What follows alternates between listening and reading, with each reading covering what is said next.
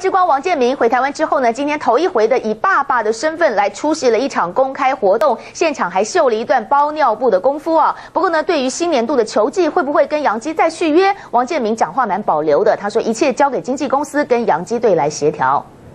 今年的整个续约动作好像并没有像之前一样这么大手笔的话，你自己会不会觉得说对自己跟杨基的这一方面的续约方面，会不会觉得比较会期待方面会比较不一样？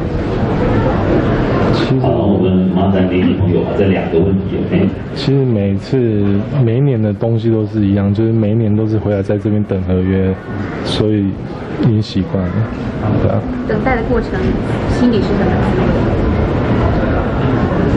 味？也没有什么滋味，就是训练自己，把自己再训练更好。其实球场续约的时候，你也不晓得他要不要续约，所以你没有办法去预测。